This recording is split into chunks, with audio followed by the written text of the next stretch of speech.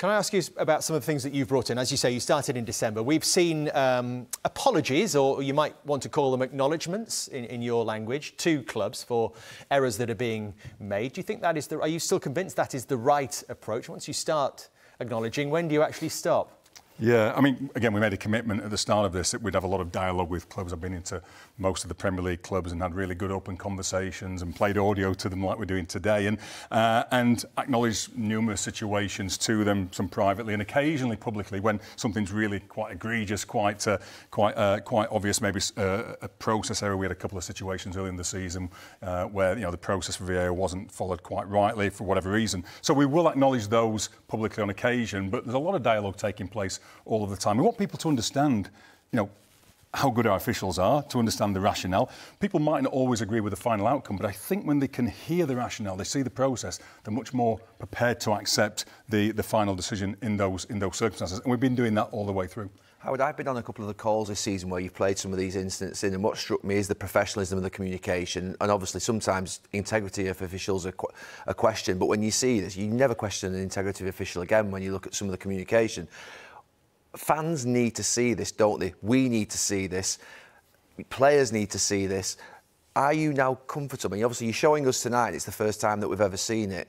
What's it going to take for you to make that decision, or the game to make that decision, whereby after a game where there's been a controversial incident or there's been something that people don't like, where you just release the footage transparently of the big decisions, the Rashford one, the goal against obviously Manchester City, the Brentford, yep. uh, Arsenal one earlier on the season. I'm thinking the two big ones there. If you just put the communication out later on that night, that would probably clear up that it's just genuinely a, a, a, an error that's been made, a human error.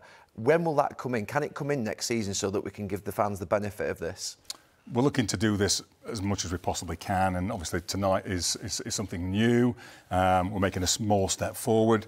Obviously, going forward into the next season, we'll be looking to do more of the same. We can't play it live in game. That's not allowed within the laws of the game. FIFA don't allow us to play this out during the game. Who knows where that might go in the future.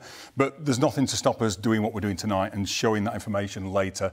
And I hope tonight's, you know, been a, a good insight as we've drawn that curtain back to, to, to reveal the way that the officials work together as a team, how they communicate, some of the rationale for some of the decisions that have been taken. We've tried to show you a range of situations uh, tonight.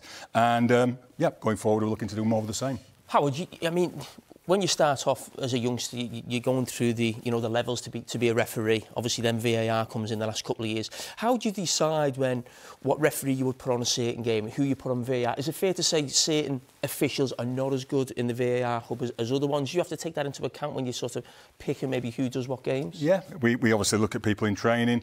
Um, some of our very best referees are not used as VAR that often because not always are the skills transferable. We get some uh, officials who are really excellent in the in the VAR role and can think clearly and communicate quickly and are decisive. So again, there's some transferable skills, but not always. So we, you know, we watch people in training, we see how they perform in the games, and of course, the ones who are the best at it are going to get the most the most appointments, um, and you know, experience comes into it as well. Whether we're selecting somebody for, for the field or somebody in the in the VAR booth, we look at how well they're able to perform that job, their levels of experience, the error rates, and all that sort of thing comes into the decision. We want to make sure we put the right people onto the right game due to their levels of experience and their current form.